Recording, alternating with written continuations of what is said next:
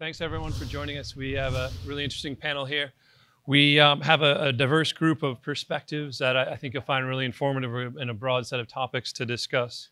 I thought to uh, lay some groundwork, we could uh, ask each uh, panelist to uh, answer an initial question and provide some context on their organization and their role within that organization. So maybe Nick, maybe if you could uh, kick us off with just characterizing the market environment as you see it and sort of what challenges does that pose to the goals of your organization? Sure. Um, I guess Taleb was the big draw, right? Because we kind of emptied out a little bit here, but it's okay. I understand.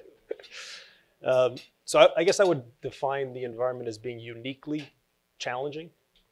Uh, we've got low economic growth, low rates of unemployment, uh, low inflation, unprecedented central bank intervention, low rates, but at the same time, really high asset prices, um, which would make you know, a, a, challenging environment for pretty much anybody, let alone insurance companies. And, and that's where, uh, you know, where I come in. I'm the CIO of uh, TIAA, which is known to be a pension plan for teachers, but does that through an insurance product, which makes us an insurance company, uh, which means that we have insurance regulations, uh, which forces us to invest mostly in, in fixed income. So low rates is a, a pretty big issue for uh, for us and, and pretty much any any insurance company. Uh, you know, the reinvestment turnover that we have, uh, you know, to put to work every year at lower rates is, uh, you know, the biggest challenge that we face. Great, thank you.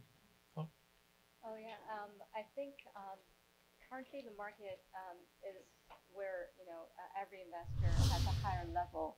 Um, of uncertainty, they have they have they have to uh, deal with a higher level of uncertainty uh, with concerns over uh, recessionary conditions or risks or um, uh, excessive liquid, uh, liquidity in their um, portfolio. Or uh, people worry about whether the trade war would flare up again and its implications, um, or you know what would trigger the next recession uh, or the next market downturn, be it excessive corporate debt or um, you know, some mistakes in uh, the policies of some government administration. So uh, it's a lot of um, um, uncertainties there. Um, so CIC um, is China Investment Corporation is the financial investor that focuses on um, commercial investment returns. Um, and we set up the uh, New York rep office uh, in 2017, just right before the uh, US-China trade war started to build momentum. So good timing. Um, so in the past two years, we have seen more uh, stringent uh, CFIUS reviews uh, by foreign invest uh, for uh, foreign investments, um, and CIC, um, because its status as a sovereign wealth fund of China, um, it, it, makes it inevitable for CIC to be involved in some sorts of uh, geopolitical risks. Um, so it makes it more difficult for CIC to to do some direct investment here in the U.S. Um, and we do hope that things could improve um, later on. Great. I work for a, a Bermuda-based reinsurance company called Axis Capital. Uh, we're global. Um, we we have about 15 billion in AUM. My our CIO and I, uh, we've all we've been from we've been in direct investing backgrounds our entire careers, but here at Axis Capital, we're actually investing with outside managers as well. Um, and I, I, personally, I manage our credit, uh, private equity, and real estate uh, portfolios. I think the, the current environment, uh, if I was if I were sitting here last year, you know, would have talked about inflation and interest rates and you know what the Fed's you know what the Fed's trying to do to get inflation where they need it to be. But I think it's more appropriate to to, to borrow from what, what Ray Dalio said and then what Mohammed said uh, this morning that we are really in monetary policy part three uh, so part two is sort of coming to an end, and we're in part three, which I think is targeted to, you know, our 50 plus trillion in unfunded liabilities that somebody might have to monetize going forward, uh, as well as uh, the trade war, uh, which is going on as well. Good afternoon. I'm um, the head of private debt for the U.S. for CDPQ. CDPQ, for those of you who don't know, is the manager for the pension assets for the province of Quebec. We're about 225 billion in assets in five different asset classes: public equities, fixed income, where I sit, real estate, private equity, and um, infrastructure. Um, so the challenges for us obviously vary by asset class, but overall the theme of the institution, what we're looking to do, is invest more in illiquid assets, take a very, obviously a very long-term view. We've been doing that for a long time, both in private equity and infrastructure, obviously and real estate as well, where we own buildings around the world. In fixed income, uh, and I've joined a couple of years ago to really develop a private debt strategy where our focus is to really, again, increase the non-investment grade private debt uh, piece of our portfolio to, we don't need liquidity, so we want to generate obviously a higher return with better structures and, um, you know, again, tighter uh, protections for us as uh, than the uh, broadly syndicated market. So the challenge for us in, in both organizationally and for us in our uh, in our strategy in, in, in, private debt is really the, con- the confluence of continued low interest rate, but obviously being very late in the credit cycle. So how do we adjust that in terms of deploying more capital in uh, illiquid private credit? So we have a team that's been formed of 15 people just focused on private debt, where we can originate and do our own diligence, as well as work with outside managers. And we feel that over time, there is still uh, a lot of opportunity to invest in private credit, uh, despite where we are in the cycle. We think that um, we don't see a you know 2008 and 9 uh, recession the same you know coming the same fashion. So we think that it will be it'll be um, less severe, but still you know we want to focus on quality structures and quality assets. But the fact also that we institutionally are thinking more about a low growth scenario and what are the implications for the various portfolios within CDPQ in terms of how we construct them. That is, you know, a clear part of our strategy in terms of how do we adjust our investments um, and our philosophy to reflect the fact that we'll be, we could potentially be in a, in a very low, low growth and low interest rate environment for a long time. And still our goal is obviously to achieve uh, good returns for the employees of the province of Quebec to generate a good return above the benchmark that we are we're trying to beat. So that's been our challenges. Um, I'm Mark Burgess. I'm from Australia. I spent most of my career overseas, but I currently uh, sit on a, a chair a board for a large pension plan. But I previously ran the uh, Sovereign Fund in Australia. I was the president and CEO. Um, what are we dealing with today? Um, I'm reminded of my students. I, I lecture students, as you do at my age, I suppose, and also give them some uh, career advice. And they always say to me, you know, why was your career so good? And it's just very simple, which is that I joined the markets about 35 years ago when interest rates were very high, and I've been sailing the rate of change ever since. Um, and in fact, I think there are about 12 or 13 different indicators that have been very, very favourable over that period. Uh, the one that the students really struggle to believe is that I say to them, Is the world violent today? And they go, yes, of course it is. And of course, today is the least violent in human history. And we know that. Um, but there are many others, and, and you know, the demographics were favourable. But one of the ones that are really critical uh, is that interest rates just continued to fall during the period. So it's not just the absolute level of rates we're at now, it's the fact that they were falling. And that's had a compounding effect for anyone who's been long duration. And, uh, and that's the challenge today. It isn't just that rates of return are low, but in the next cycle, uh, PE, long duration assets, will get found out because there is no more rate cutting on which to revalue to value out. And so this is why we're at such a critical point. And it's, it's partially why I think people are uh, kind of cautious about what's going on is because they can sense that the tailwinds have been phenomenal for a very long period of time and now we have to figure out what to do next. Mark, maybe just building on that, the trajectory of rates, is it, is it a race to the bottom? Is there, is there hope we'll, uh, we'll change trajectory? Do you have a view? Uh, look, how much bottoming can you get when you've already got negative rates? Um, but what's going on behind all of that, of course, is, is that we have a major demographic change. Everyone knows about demographics. But what we're about to do is we're putting economies through absolute declines in population. And, and the difference between a growth rate and an absolute fall in population is very significant for asset prices. Uh, you know, the example I give people 10 houses in the street, population growing, all houses get bid up. 10 houses in the street, population absolutely declining, and the 10th person dies. All the other houses are worth scrap because the 10th, 10th one's vacant. Now, it's not going to work like that. But what actually happens is the dynamics of the system doesn't work well. And this is what we're beginning to see transferred from, from, uh, from places like uh, Japan, which we know has already been through, going through the cycle, to Europe, to Germany, etc. Um, and so we have a sort of major demographic change that will not only change the growth rate, but will change the way financial assets behave and credit behaves behind that. Uh, and so our hope is the four or five countries with great demographics, India, Indonesia, Philippines, places like that, and I, we're just not sure that it's going to all connect together to give us the growth rate that we, we require. Just to answer your question directly, though, I think the one positive thing that's come out since Jackson Hole is I do believe I'm, I'm on a think tank for central banks and sovereign wealth funds, and we do about 150 meetings a year with central bankers. Even they've realised that negative rates wasn't such a good idea because of the signalling effect, and I think there's a recognition that go there carefully, and so maybe rates are just going to stabilise at very low levels, but I think we've reached the bottom basically. Sure. Um, Jay, thinking of, of rates at low levels and sort of meeting return targets, you have a number of levers to pull within your remit. Just curious, sort of how you're managing that and what, what steps you're taking to Yeah. to meet return targets. Yeah, sure. And, and just a point on the rates is, uh, I appreciate that, Mark. And, you know, if you, if you think about negative interest rates, is it really, is it really a monetary policy or is it really part of the trade war? I mean, it was started in Switzerland as an attempt to keep their currency from, you know, tripling and, you know, crushing their current account. So that the negative interest rate is also sort of a tax on capital. It's a tax on the capital account, which is analogous to a tariff.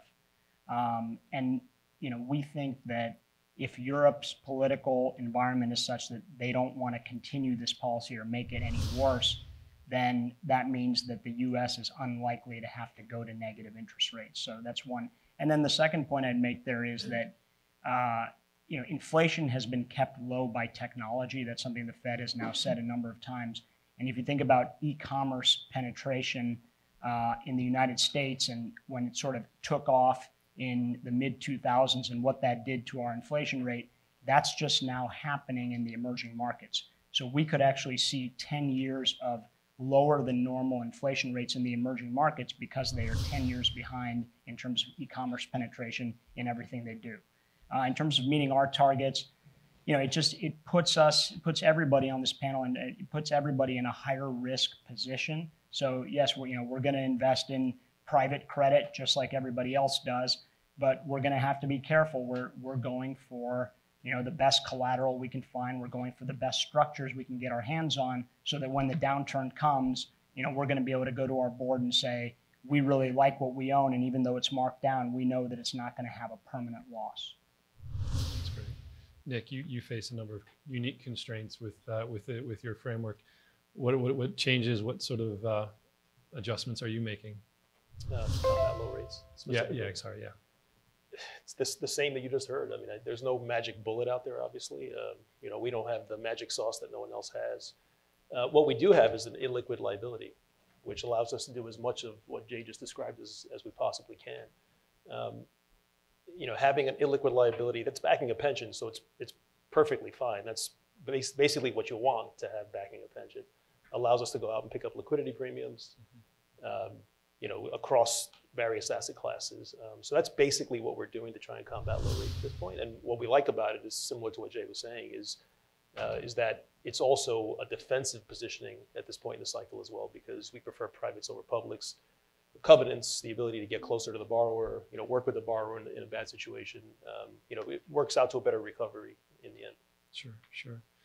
And Hong, maybe from your perspective, um, you you have some unique constraints as well. Um, Sure. the- Yeah, I think uh, colleagues here already offered a very uh, valuable uh, insights. Uh, for CIC, um, we again uh, we we what we can do is you know just continue to uh, diversify and uh, continue to identify companies that with a sustainable business model, um, and we hope to um, build a defensive portfolio. Um, and also for the uh, i- i- liquidity, um, a, a liquid premium, I think we would seek um, such premium more tied to operational improvement rather than financial engineering. Sure, sure. Robert, you, you had mentioned um, focusing on structuring and building a resilient portfolio within private debt and whatnot. Maybe just some more on that, just as it seems from the panel and uh, more broadly, just a very popular area for, Sure. for cash flows now. Absolutely. Well, I mean, it's it's a theme for the whole organization. When we talk about resiliency and building a portfolio that will sustain market volatility, and the best example of that was last year when CDPQ returned, I think, was 4.2 percent, which was materially higher than uh, the index by probably two percent because of the fact that our portfolio was very resilient and focused on quality. So, despite the volatility at the end of 2018, we were able to generate a return that was nominally materially lower than 2017, uh, but materially better than, than the benchmark. So that's a theme for the organization. So translating that into into what we're trying to do in, in fixed income and private debt is again getting the right resources and the right team to be able to do our own diligence, uh, develop our own view on, on, on, on credits, whether it's, and we do have private debt in corporate credit, but we also have other teams that focus on uh, specialty lending as well as real estate. And we, again, focus on making sure that we understand as best as we can the risk, do a real deep dive in diligence, um, and be able to live with that credit um, if it goes through a cycle. So we don't, we specifically focus away from you know cyclical companies, or if we do look at cyclical companies, they will have to be levered in the right fashion so that they can go through a cycle. But otherwise, it's picking the sectors that we feel will be resilient through a cycle, whether it's business services, technology, uh, healthcare, that we feel have long-term growth potential, even if you go through a cycle and, and have to deal with potential problems that we will have in our portfolio. So the good news is we're, we're at the beginning of that effort in terms of building that portfolio. So we're transitioning from a uh, much more liquid portfolio to more private. So we both have the resources in place in terms of people, but also the benefit of being fully invested and don't really have the pressure to deploy capital if we feel that the opportunities are not appropriate for us. So it's, at least for now, because we're at the beginning, we do have the, the benefit of really choosing the right investments to be able to deploy capital in a thoughtful way. Great, great. Uh, Mark, you, you talked a bit about uh, demographics, but outside of that, perhaps, is there an economic factor or, or, or trend that you're seeing that is of note or concern? Um, yeah, look, there's uh, there's there's plenty always concerns. I thought the comments previously there's always uncertainty in the world, and so you can always find concerns. Um, but you know, we, we're clearly in transition, and you know, take the Chinese economy. It knows it's in transition, and uh, I did quite call it a lot of work up there. It's in our region. Um, they've been looking to internalize their growth rate. They've known that growth, exter- the ex- export model of Japan and South Korea would eventually reach limits. Um, but the concern for them is that this has happened a bit sooner than expected. And my sense, when I've been up there a few times this year, is that they've been worried about that. Um, on the other hand, they're doing strategic things. They're opening up the markets. I had to speak at something uh, two weeks ago on this. They're being very clear about their allowance of foreign investors. They're being very clear about paying down debt. Um, but that's a big transitional change. They're an important grower. They've been very important to the overall growth dynamics. The question for us now, though, is if I'm concerned, is as I said before, the growth now has to be found in other places. And if I was running the IMF, I'd be concentrated on them and helping them do it well.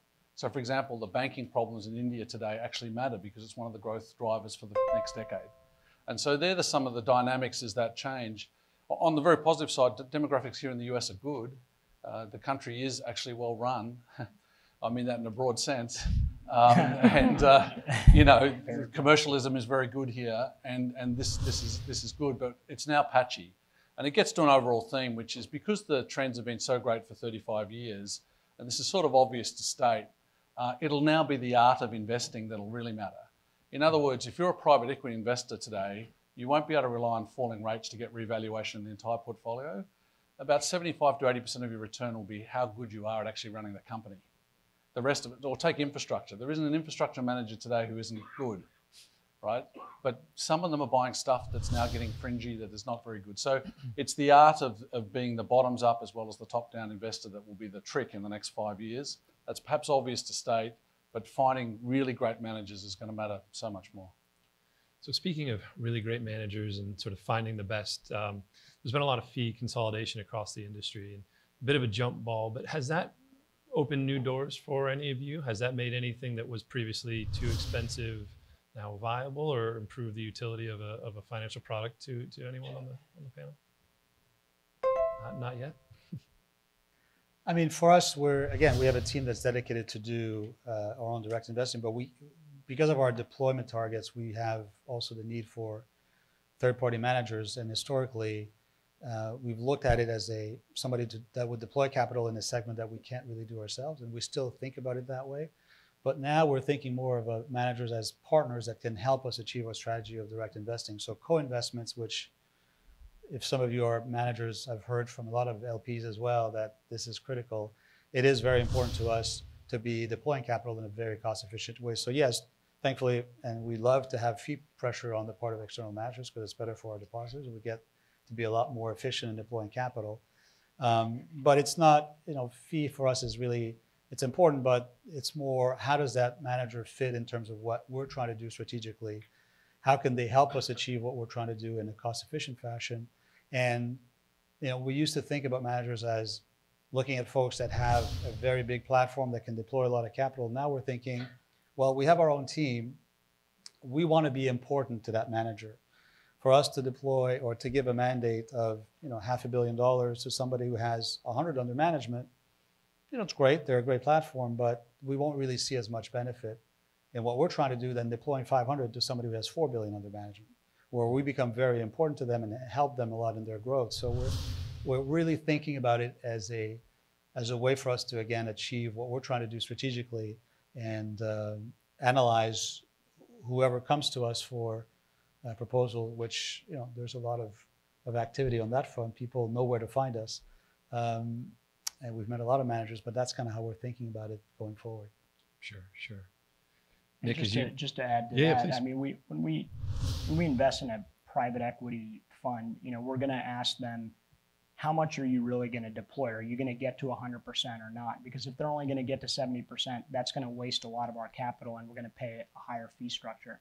You know, people also talk about J curve, and a lot of people talk about it in the context of the optics of are you losing money for the first year or second year. We we think about it in the economic context of what's the total amount of fees that we're paying. It doesn't matter when we're paying them for the amount of capital that we're going to deploy. It also helps us if the manager has an existing seed portfolio that's already on the board. That gives us visibility. We know that they're going to be able to get their job done in, in the next, you know, two, three, whatever years. Um, and it also reduces that kind of quote unquote J curve. And then finally, you know, with a lot of investments that are illiquid, if we can get that in a semi-open-ended or a somewhat liquid structure where we has, have some power to, you know, push the stop button and just let our portfolio run off, that helps us out a lot in terms of our own internal capital management liquidity metrics as well. That's great. Um,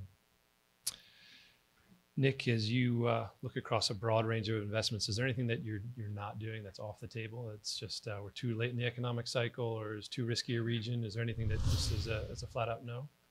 outside of uh, OFAC countries, Yeah. uh, which is obvious. Um, probably, I would say currency. Currency as an asset class, whether it's traditional currency or crypto. Um, it just feels a bit to me like it's um, there's not a lot of expected return, but there's quite a bit of vol, and that's not something that a, an investor like us that has to worry about capital charges, um, you know, put up against their assets, so you know, would be concerned about. So uh, that's e- everywhere else we probably are comfortable going, but I would Sure. say currency as an asset class is a place we'd avoid. Sure, sure. Hong, same question to you. Yeah. Anything off the table? CIC is a sovereign wealth fund, so we have to play it safe. So we won't enter into um, like too risky areas, uh, Mhm. especially countries with uh, uh, great geopolitical risks. Sure, sure. Mark, as uh, out- out- outside of markets and with, with with your with your teaching and whatnot, is there an area that you find challenging? Is it talent retention? Is it uh, you know what, what what sort of things outside of markets are, are a challenge for your organization? Um, the organisation generally, uh, institutions. Uh, I love the last presentation about skin in the game. You know, we, we have a problem there essentially because people don't own the institution. Uh, in our case, we're owned by the members, for example, or most most are. Um, and so finding people who are really, really great investors, paying them well, but also creating the culture that keeps them hopping uh, is, is very important. And, and there is a problem for asset owners, which I found when I was at the Future Funds, first time I've been on the asset owner side, um, is that when you're an asset owner, you've only got one client usually, and it's the investment committee. Um, and uh, you don't have a lot of clients out there asking you questions, keeping you sharp, right? And in fact, the people that, the, the, that our staff do meet are usually fund managers who tell them how great they are, right? And so over time, the culture of the asset owner is not as sharp as the culture that you get on the, on the buy side. And, and so for us, it's about attracting people, but it's about creating the culture. Sure. Um, the one thing I'll say is that uh, Bridgewater do take people, and when, when you send people to Bridgewater, they come back different. Uh, uh, I, I mean that genuinely. I had a guy once who was always bearish, and for his career development, that is a very limited field of always being bearish. And this is a true story. We sent him up there, and, and, and he spent three weeks, and he came back a different man. and, and, and that's because, you know, frankly, in their case, they do not care. They so strongly believe in their culture that they were going to ask him as many tough questions as they asked themselves and that made him a better person. But inside asset owners, it's hard to create that hopping culture. But whereas you're, you're an asset manager, you're seeing so many clients that you better be sharp. You're going to lose the race. And so that's there's some of the challenges that we have. Is not just attracting, but creating the right culture so that you're absolutely at the cutting edge at all times. Yeah. Which is one of the benefits, by the way, that I think TIAA has, because we're both an asset owner and an asset manager. Right. So whole, wholly own a very large asset manager um, under the brand of Nuveen, and that creates, I think, that the appropriate mix inside of the culture that we're, that we're looking for. Jay, this is the time of year when a lot of folks make goals for the next year and whatnot, both on the uh, business side, but on the on, on, on the on the market side as well. Any anything on the agenda for you guys as you uh, look forward? Yeah, sure. I mean, for, so from the from the investment perspective, I think this is probably front and center on a lot of people's minds is preparing for a possibility of a recession. You know, how is your portfolio going to look in that scenario? And uh, you know, are you are you investing in the right things, and, and what actions may or may may you not take uh, if that happens? Uh, on the on the business side, um, you know, the insurance and reinsurance business is also uh, it's a challenging, and, and, there are many who know a lot more about this topic than I do, but it, it's a challenging business. We are, you know, there's a lot of technological disruption. There's a lot of competition. Uh, recently, there was a, a, an M&A spree in the reinsurance industry. You had uh, larger firms from, from Asia paying even two times book to buy reinsurance companies because they, they looked at them as just kind of a bond portfolio. Um, one of the one of the things that we do at, at Axis is we have a team, uh, not my team, but we have a team dedicated to strategic investments uh, in fintech and insurtech, and they they engage with outside partnerships to sort of get ahead of that and play offense instead of defense. Great, great. Anyone else? Uh, any initiatives? I, I was going to add one thing. For us, it's really we're it's a couple of things. One is because we're deploying more in private debt, we know that there's going to be more problems in the portfolio. So, which is something that's relatively new for a um, a team that has been mostly with more conservative, safer credits. So, how do we think about and how do we set ourselves to be able to manage those problem situations? Having the right skill set, it's something that we're, we're thinking about for you know 2020 and beyond. We're also looking at uh, potentially investing outside of the North America and Europe, where we currently have our, our teams looking at emerging market, we're starting to think about how do we deal with uh, Asia or potentially investing in in um, in South America. It's been challenging in terms of finding managers in South America to that we feel would be a good strategic, fit for us. Uh, we are putting in place something in India where CDPQ has been very active in India over the last you know, five six years, working with local partners uh, to invest in, particularly in infrastructure and more recently in private equity. So we're probably going to do something in India as well in corporate credit. There's a group of very, very good um, managers that have established track records. And, and, for us, it's a way to dip our toes in uh, emerging markets in a way that will give us the ability to learn about the market and see if it, if, if it does provide a better return uh, for our capital. So not huge amounts of money, but certainly something that help us expand beyond North America and, uh, and Europe. Great. I would actually, uh, I would agree. The, the challenge around distressed investing is a pretty big one because it's very difficult to maintain a, a team that has that skill set when there aren't a lot of distressed assets. You know, you're not going to hire a bunch of people, have them sit there do nothing. They're not going to want to sit there and do nothing, um, waiting for the, the wave to occur. And it's been much longer than anyone expected for that wave to come. Um, so that, that's a huge challenge, I think, for pretty much every asset owner. Sure the interesting part is whether you want to invest in distress. We're not doing that in, Right. in fixed income within our group. Some of the pockets of CDPQ is doing that, but but you're right. It's been relatively spotty in terms of return in the last five years, just because of the environment that we've been in. Um, but for us, the focus is really not necessarily to look at investing in distressed assets, but just managing the problems that we're going to have, Yeah.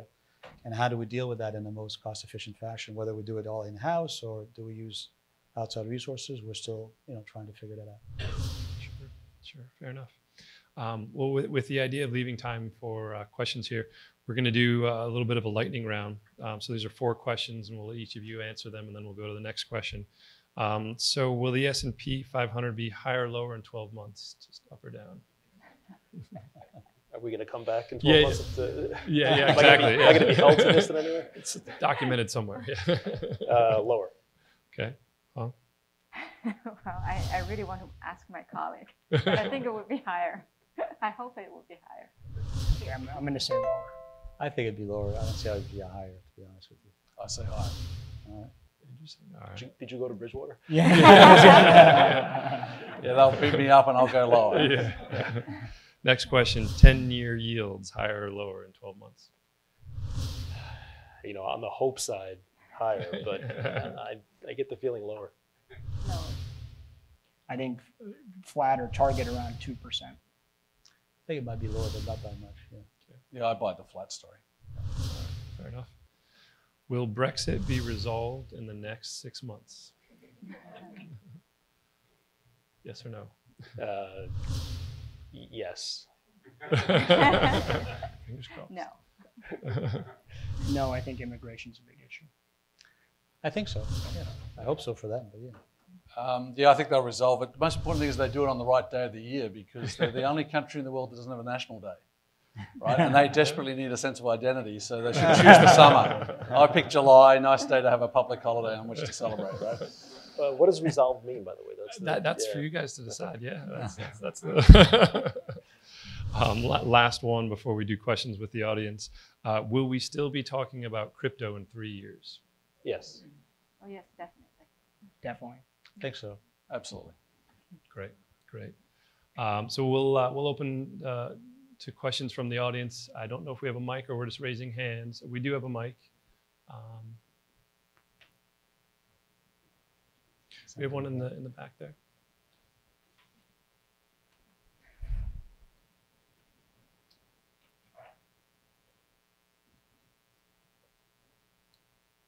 Thank- Thanks, Travis. Uh, Rob Colleran here. Um, On the, on the emerging markets or sort of the, uh, the international expansion, a couple of you all mentioned that, but then some difficulties. Um, Is that related to potentially the, um, the scale of, you know, you all are wanting to put out more capital? Or is it um, uh, sort of the dynamic between family-owned businesses less uh, less open to uh, um, to um, equity give up or rule of law type things. Can you expand a little bit upon that? I think this was driven a little bit from our folks from Canada and um, a couple of other. Yeah, I, I can take that. I mean, I think it's it's all of what you said in the sense that when we're thinking about where it makes sense, you need to think about the lo- obviously the um, you know the legal regime in that country, uh, the history of investing in your in your asset class, um, you know track record, the type of teams, and is there a cultural fit in the way that people invest in your asset class versus what you you're doing yourself, um, and then what are the returns? And in in our case, being uh, Canadian, when we make an investment in private debt, we don't really think about currency um, because we hedge it at a higher level, and we just whether it's euros, whether it's Canadian dollars, U.S. dollars, sterling, whatever currency we can hedge, we think about it, and it's not a factor in our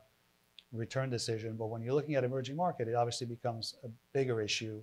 And thinking about those market is does it really make sense to deploy capital if at the end of the day, with the tax implication, with the currency implication, you're going to end up with a return that's marginally better than what you can do domestically. Does it really make sense? So these are all factors that we think about as we look at deploying in emerging markets. And in, fixed income, in corporate credit for us, it's something that's relatively new, but that's how we've been thinking about it. And so far, we've thought of India as the first step for us to kind of dip our toes into that market. I think I think that if you look at standard standard markets and emerging markets, they've you know they've rallied and there's not that much of a risk premium there versus uh, versus developed markets. You know we are looking at specific opportunities in emerging markets as well. So for example, India just passed the the bankruptcy law that helps uh, real estate debt that sector working out real estate loans that makes it safer. Um, Australia, uh, as Mark Mark knows, has a situation where you have a, a banking oligopoly, and so the, the yields that you can earn in private credit in Australia with really good collateral are actually quite high. Uh, in Brazil, we've looked at the system of federal claims there, and you know there are managers that try to accumulate those at a discount. Uh, and you know Argentina, hard to invest in, but um, as uh, many in the room uh, may know, that they have a public-private partnership uh, opportunity there where they're they're building power plants and they're you know it's all sort of U.S. dollar denominated. So we are looking at specific situations. I think standard markets have, have lifted. Yeah, I must say we're at a critical moment though because um, they need to. We need to have the game, the rules of the game, still set the way we've been used to it. And I'm not suggesting it necessarily will change, but I'm very impressed by how brave the Canadians are in terms of allocating to some of these markets. But you would not want to get in there and get your capital stuck. That is distinctly possible if we get bad behaviours by everybody, where we don't believe in the system. And, and this then gets to infrastructure. For their, for their sake, it'll be great if we can convince the countries to have really sound and stable regulatory environments. But with the volatility that's going on, uh, we need US leadership and we need leadership from everyone else who's, who's set the system to continue to set it. If they don't, then we've got to think about exactly what sort of risk we're, we're taking. It's an outside story, but it's the first time in the last 35 years that I'm now particularly thinking that through personally. Yeah, that's that's actually a good point. Uh, the world is moving against globalization. There's no question about that. Um, so there's a lot of potential peril, and you know we're so TIAA is huge. I mean we're, we have the scale. Uh, we have a, a, a, very large investment organization. We're pretty much across the globe. We're investing in commercial mortgages in Australia. We're investing in real assets in emerging markets. Um, but those are genuine concerns now because you're right. The world has shifted, I think, into a different regime. It's And- a shift. We have a slightly quirky thing. I talked about the positive demographic countries. Uh, the thing is that the ones that are the most positive also have a youth bulge currently, and youth bulges are very dangerous periods. Uh, amazingly, in Japan in the late 50s, there were student riots because they couldn't employ them quickly enough. US late 60s. Whenever you get this youth bulge coming through on a 10, 15 year view, it's fantastic. But in a short term view, and this is partially why we're getting riots and other things, partially. Um, and some of these big countries have got to get through some of that stuff too. That said, if you're a long term investor like we are, and you believe in the system and we continue to work on the system, that's where you're going to get future growth. Yeah, combining the, the youth bulge with a, with a wealth gap, Correct. It can be a pretty dangerous combination. Yeah. Yeah.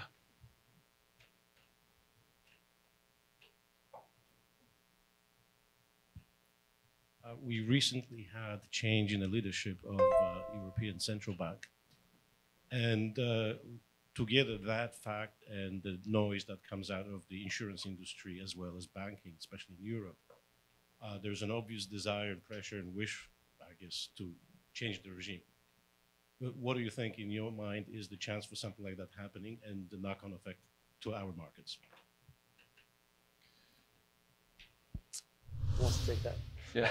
so you're talking about the change in regime at the central bank in, in Europe? Yeah. So I sit on this think tank called OMFIF, and we, as I said, had 150 meeting, meetings a year with central bankers around the world. And uh, yeah, Europe's in a critical moment. Um, the central bankers themselves need to rethink this. I asked them recently a thing I was at, how much work have you done on demographics? Um, so, for example, we're used to saying that Japan's not growing, but GDP per capita has been one of the best in the world, right?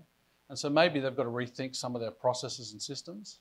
But you're, but you're absolutely correct is that Europe's got some moments of truth. A lot of pressure on uh, Lagarde thinking that she'll bring in fiscal. I'm, not so sure she will.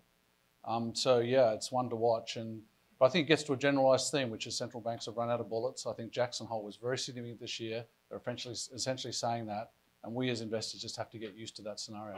Yeah. But I, I would argue that um, part of the problem has been that monetary policy and fiscal policy just haven't been aligned. Right. Right. So you know when, when you had monetary policy easing in, in Europe, you also had fiscal austerity. Right. So if you can get you know actually it's true for the U.S. as well, get your act together and, and find a way to actually you know put those two policies together, enforce infrastructure, for example, is just seems like you know the right thing to do right now across the globe. That could you know increase growth, increase uh, employment even further than it is already. Um, but it just doesn't feel like the, the impetus is there. Uh, you know, a, a, regime change or a, sh- a, change in leadership is the appropriate time to start thinking about these kinds of things. I think it's a good point. Jackson Hole was particularly significant because they're prepared to talk about fiscal, central bankers are, and they know that fiscal is political. That is a big psychological change Yeah. for them because they're basically saying we've run out of ammunition. It's your very point. Uh, they do not want to look too political because they'll lose their independence. And this is the trade off that's going on between central bankers and everybody else at the moment. Right? Because you don't want to go even lower in rates, right? We talked that, about that before. We want to Yeah. keep rates close to zero and use something else to try and stimulate the economy.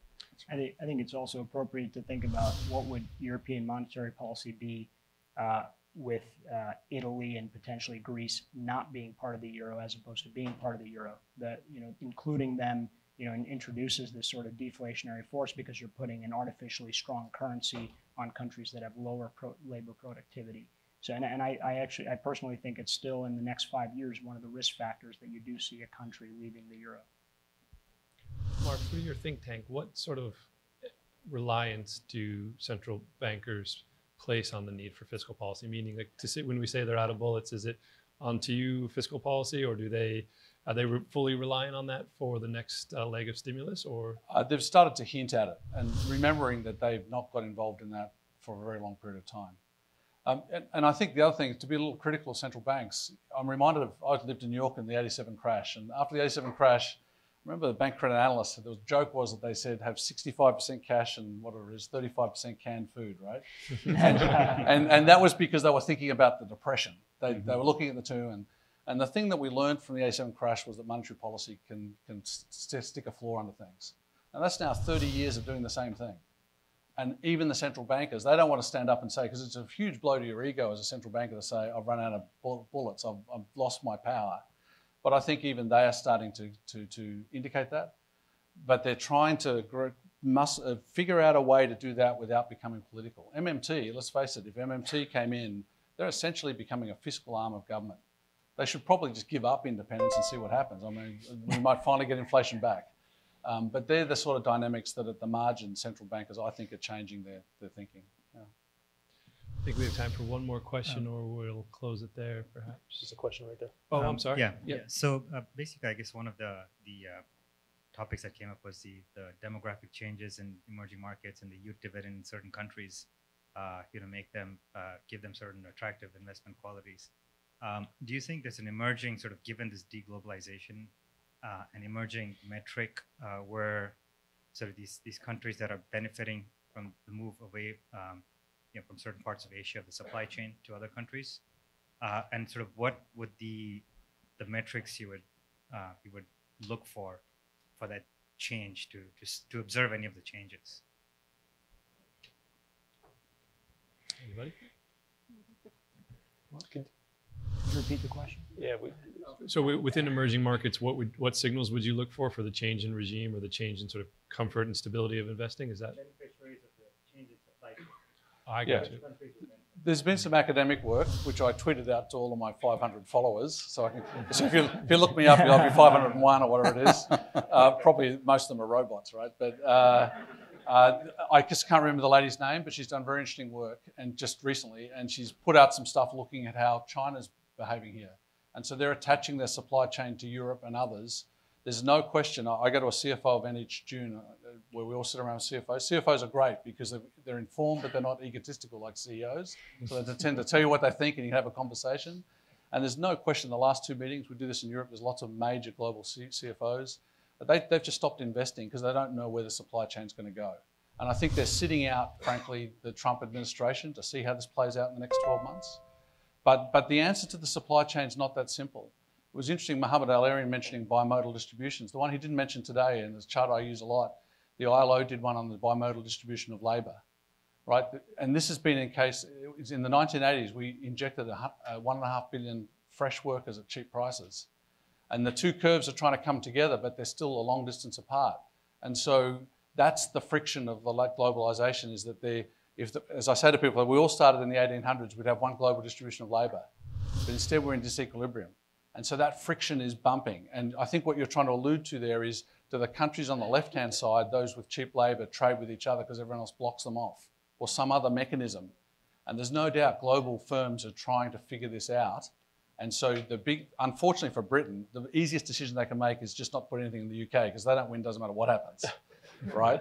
But but they're trying to figure out these distribution channels, and when you talk to them informally, uh, even you know, should I put in Mexico? Is that actually already set or isn't it? And so they just hesitate a bit, and so you get 10 or 15 percent corrections in investment. And so I think it'll get resolved. I think it will be more regionalised, but it's still working its way through the system. And she's done some very good work. If you just look up my tweet, might, might worth. be a, a good way to get inflation up. Anti-globalization, I guess. Not the best way, but that might be one way to get it. It- It's people ask about inflation, and and and my I'm reminded of this. Uh, 15 years ago, I interviewed a strategist, and she was very young. And I said, "What do you make of inflation?" She looked me in the eye and she said, "A statistical anomaly," right? Because she'd never seen it, she'd only studied it, and she really helped me. She made me rethink my own thoughts because I'd only ever seen inflation. Um, but now at the margin, if you ask anybody, everyone believes in lower for longer. That's an absolute consensus now, from what I can observe. and no one really believes inflation is coming back. But if you think about what's helped inflation, free trade's helped it. Global warming won't help inflation with rising food prices. There's a bunch of these dynamics that at the margin could arguably be, on a five or eight year view, the emergence of a style of inflation that perhaps we haven't seen before. When we, when we think supply chain, we think labor costs are higher in China, so you're going to get more manufacturing in Vietnam. On the other hand, China is benefiting from more pharmaceutical development coming into China. That was traditionally only India. Uh, but one of the trends we see is e-commerce across the world, and e-commerce increases the demand uh, by an intensity factor of 3x, increases the demand for simple industrial warehouses. Uh, so that's something that's been in the newspapers a lot in the U.S. I think uh, Blackstone's been in the news as buying billions and billions of dollars of uh, warehouses in the U.S. Uh, when we look at Europe, uh, France, Germany, continental Europe, especially Spain, their e-commerce penetration is, is uh, anywhere from a few years to even 10 years behind uh, the US. And so we, we like the idea of buying industrial warehouses in continental Europe. Uh, that trend is also happening in the emerging markets. I just want to add that um, it won't be that uh, easy to move supply chain out of China. Uh, one thing they have to think about is the educated labor and just think it, think about it. You can assign a U.S. manager to China because it has a better working environment. But if you want to assign someone to Vietnam, then probably they would think twice. Great. Well, I think we're out of time, but thank you to, to each of our panelists, and uh, thank you. The 2019 Greenwich Economic Forum is brought to you by Bridgewater Associates. Meaningful work meaningful relationships. Churchill Asset Management, Nuveen, a leading provider of senior and unitranche debt to middle market companies. Ropes and Gray, bright past, brilliant future. Aurora Capital, inspiring partnerships. And Gramercy Funds Management, we are emerging markets. Special considerations to Bank of America. Life's better when we're connected.